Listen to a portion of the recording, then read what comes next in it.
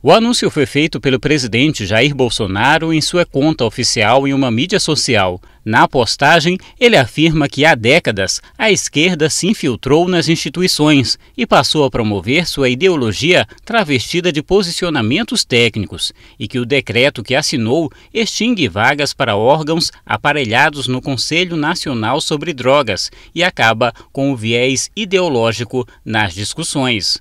A mudança reduz de 31 para 14 o número de cadeiras no Conselho, retira todos os representantes da sociedade civil e especialistas e mantém somente membros do governo e conselhos estaduais antidrogas.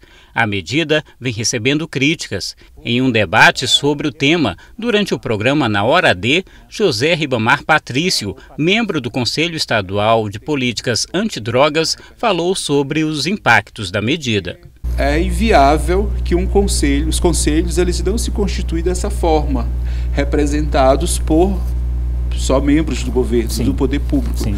Eles sempre foram constituídos por membros do, da sociedade civil e do poder público. Uhum. Então é a primeira vez na história que algo acontece dessa forma. Então não haveria necessidade então de ter um conselho.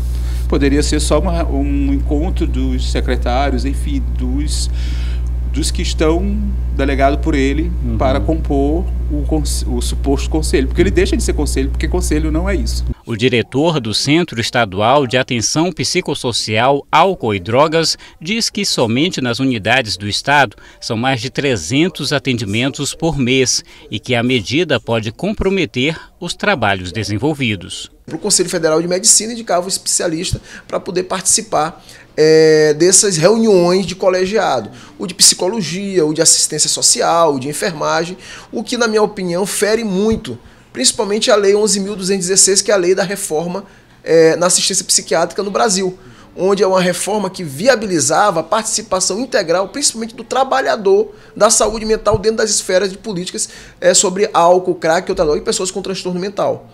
Então, quando você retira a participação do trabalhador da saúde, quando você retira a participação da sociedade civil dentro de um conselho, você perde muito, principalmente na elaboração de políticas mais personalizadas, de políticas que respeitem mais a integridade do paciente, de políticas que respeitem mais a heterogeneidade da nossa própria população brasileira. Esta enfermeira, especialista em saúde mental, trabalha com dependentes químicos há cinco anos. Lamenta que a opinião de profissionais que atuam em conjunto nos tratamentos passe a ser desconsiderada.